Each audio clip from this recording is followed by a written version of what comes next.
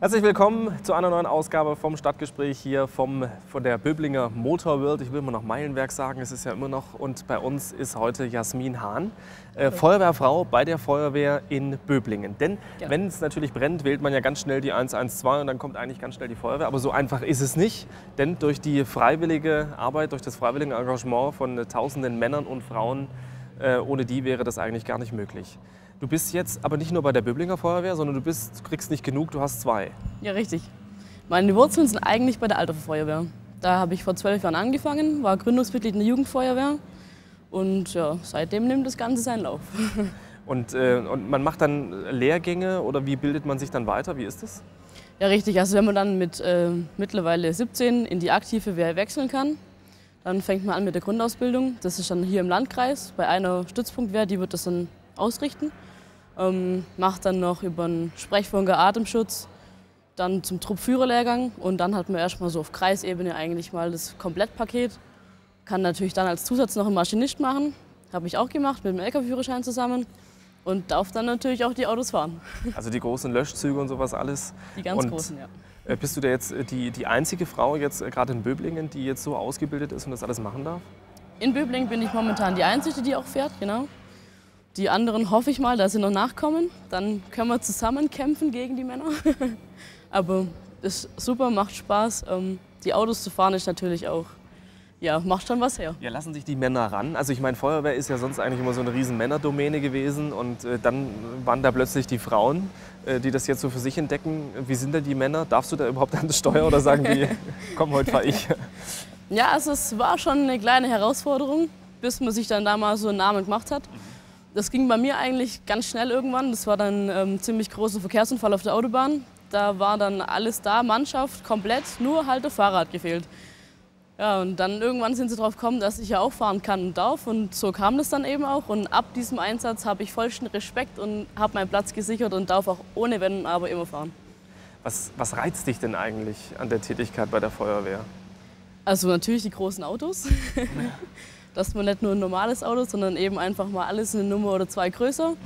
Ähm, die Teamarbeit finde ich super, die Kameradschaft natürlich. Man lernt super viele Leute kennen und egal wo man hinläuft, überall ha, Hallo und Hi und ähm, dann einfach auch die Herausforderung, dass man auf dem Weg zum Einsatz einfach nie genau weiß, ja, was überrascht, überrascht mich jetzt was, was kommt auf mich zu. Ähm, klar, man weiß natürlich, geht es zum Verkehrsunfall oder geht es zu einem Brand oder auch mal eine Brandmeldeanlage. Aber so im Endeffekt ist eigentlich immer was Neues. Nachts um vier geht der Melder, man wacht auf, rennt los und überlegt sich irgendwann, was ist eigentlich. Und das ist halt schon auch, ja, was einen reizt. Immer was Neues, mehr zu erfahren, die Technik, die dahinter steckt, die großen Gerätschaften, Schere, Spreizer. Ja, also Und es ist ja äh, nun eigentlich, also bei, bei Frauen ist sowieso recht selten und dann ist es ja am Ende sowieso noch ein freiwilliger Dienst, also ein freiwilliges Engagement. Ähm, wie lässt sich das vereinbaren, auch, auch mit dem Arbeitgeber? Also ich war bis ähm, letzten Jahres in der Stadt Böblingen tätig. Da konnte ich jederzeit zum Einsatz gehen. Das war überhaupt gar kein Problem. Jetzt arbeite ich im Rettungsdienst. Ist natürlich dann nicht mehr ganz so einfach, aber durch die verschiedenen Schichtmodelle, die wir auch im Rettungsdienst haben, kombiniert sich dann einfach auch wieder so. Ähm, eigentlich ganz super, weil wenn ich dann tagsüber mal daheim bin und die anderen arbeiten, kann ich da zum Alarm gehen oder nachts, je nachdem, wenn ich zu Hause bin, dann halt während Dienstzeit nicht mehr. Aber außerhalb vom Dienst äh, bin ich eigentlich so gut wie es geht immer dabei. Kein Problem. Ja. Und ähm, gerade jetzt, ich meine die Frauen, ne? wie, viel, wie viele Frauen seid ihr jetzt? Wir sind sieben. Sieben Stück. Und da, wo du eigentlich herkommst, ähm, Zwei. sind es zwei, mittlerweile. Ja. Und, äh, und wie, also wie, sind, wie reagieren äh, Familie und Freunde darauf? Also gibt es auch welche, die sagen, Mensch, mich würde das eigentlich auch interessieren? Ähm, ja, also sind, bei mir sind alle echt stolz drauf, dass ich es mache. Ich bin da in die Fußstapfen von meinem Papa getreten. Der war früher auch schon bei der Feuerwehr und da geht man natürlich also hinterher. Kam das, ja. Daher kam ich auch dazu, genau. Ähm, ich habe viele Frauen, die sagen, Hut ab vor dir. Aber die meisten sagen auch, es wäre nichts für mich, ich könnte es nicht. Zu schwer, zu vielleicht schlimme Bilder, die man sieht. Weiß man nicht, ob man damit klarkommt. Also die sagen immer, mach mal du, das ist ganz gut. Und wir wissen, wenn wir jemanden brauchen, dann rufen wir dich und das passt schon so. Weil du gerade sagst, zu schwer. Ähm, Also ich meine, ein Mann ist ja natürlich der Frau oftmals kräftemäßig überlegen. Ja. Kann man dann eigentlich als Frau alles machen oder kommt man dann irgendwo so an die Grenzen, wo man sagt, äh, das wird jetzt nichts? Also es kommt natürlich darauf an, auf den eigenen Willen. Ähm, ich hatte bis jetzt eigentlich noch nie die Situationen, wo ich jetzt nicht wusste, oh Gott, wie schaffe ich es. Ähm, klar, man ist natürlich immer zu zweit im Trupp. Wenn man jetzt merkt, da ist der Partner, vielleicht ist ja auch mal der, der Mann, der Truppmann oder der schwächer ist, dann hilft man natürlich auch dem, ganz klar. Und es kommt natürlich ja auch immer auf das Köpfchen an. Manchmal kann man ja andere Sachen vielleicht besser, die der Mann nicht hinkriegt. Ähm, ansonsten kriegt man jederzeit die Hilfe. Das ist gar kein Problem. Aber ich persönlich hatte bis jetzt noch nie den Fall, dass ich irgendwo ran gescheitert bin. Wenn man da genug Willen dahinter setzt, dann, dann geht das schon. Das. Du bist ja jetzt, äh, wie vorhin schon gesagt, ausgebildete Rettungssanitäterin. Genau. Hilft das bei der Tätigkeit bei der Feuerwehr? Sicherlich, ne? Ja, also wenn wir auch First Responder zum Beispiel fahren, wenn die Rettungswegen alle Was unterwegs heißt das jetzt sind. Für die älteren Zuschauer, die das jetzt nicht verstehen. Es ist ähm, die Erstversorgung, die wir übernehmen. Wenn die 112 gewählt wird, alle Rettungskräfte unterwegs sind, dann fahren wir, wenn noch genügend Personal auf der Wache ist, fahren wir vor Ort. Wenn es zum Beispiel um eine Reanimation geht, dann können wir natürlich schon mal anfangen. Ist ja ganz wichtig, da geht es ja um Sekunden. Ähm, wir versorgen den Patienten dann, so gut es geht, mit unseren Mitteln, die wir haben und warten dann, bis wir dann an die Kollegen vom Rettungsdienst übergeben können. Und da ist natürlich sehr hilfreich. Oder wenn beim Autounfall innerer Retter natürlich muss immer einer zum Patienten rein ist ja auch vielseitig viel besser einsetzbar, weil ich weiß einerseits, was machen meine Kameraden draußen, wo fangen sie an, wo schneiden sie, wo spreizen sie. Andererseits kann ich doch die Vitalwerte besser kontrollieren. Mhm. Und da habe ich natürlich schon den Vorteil ein bisschen, einfacher zumindest.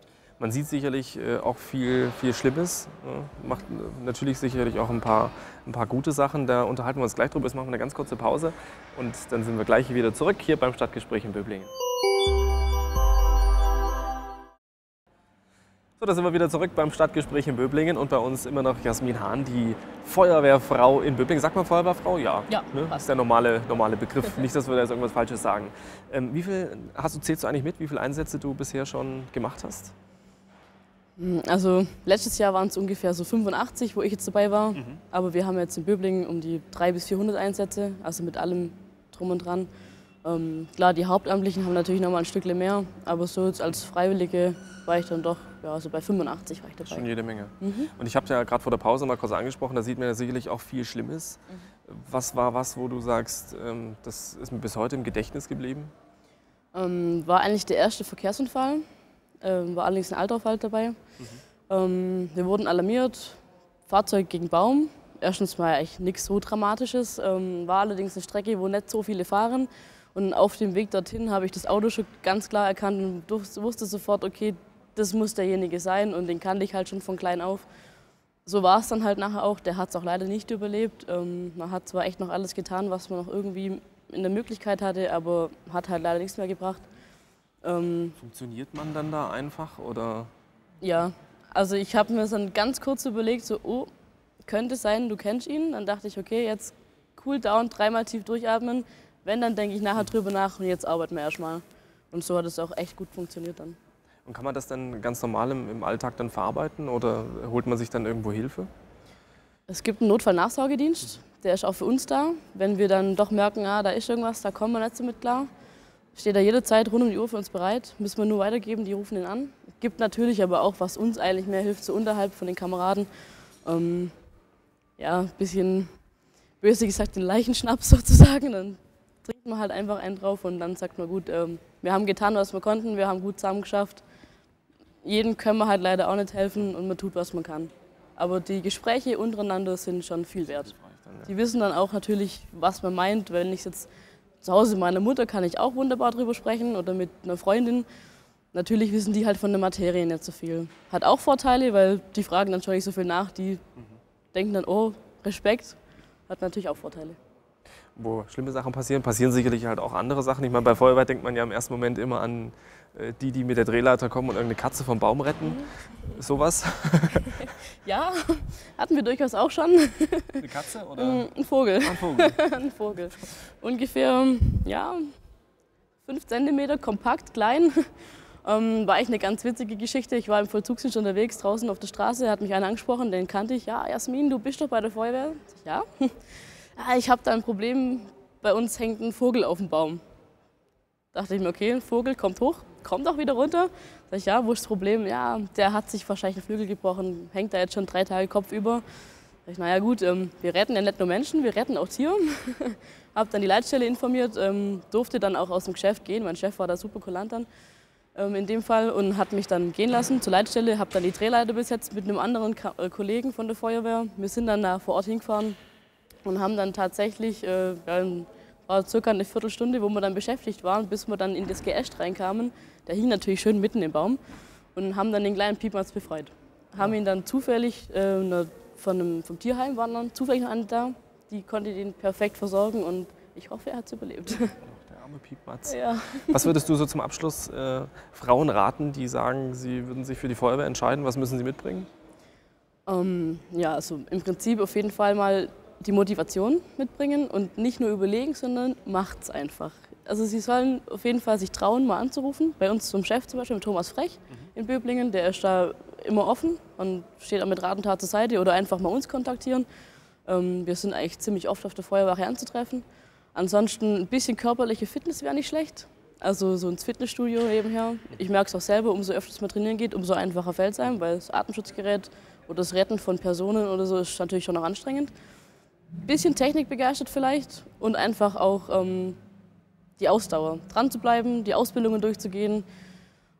Ja, teambegeistert, teamfähig und, viele, und Lust auf viele lustige neue Kameraden. Super. Das ist auf jeden Fall Rat. Jasmin Hahn, vielen Dank. Was sagt man? Äh, Hals- und Beinbruch bei der Feuerwehr? Nee, gibt es da irgendwas? Hm. Nicht. Na also hoffen wir, dass du halt immer, immer gut rauskommst, natürlich Dankeschön. von deinen Einsätzen. Und äh, vielen Dank. Und das war's ähm, für heute. Und nächste Woche begrüßen wir dann hier Georg Sommer, der Geschäftsführer vom Kongresszentrum Böblingen-Sindelfingen. Und äh, da ist dann auch wieder mein Kollege Hans-Jörg Zürn. Bis dahin, tschüss, schönen Abend.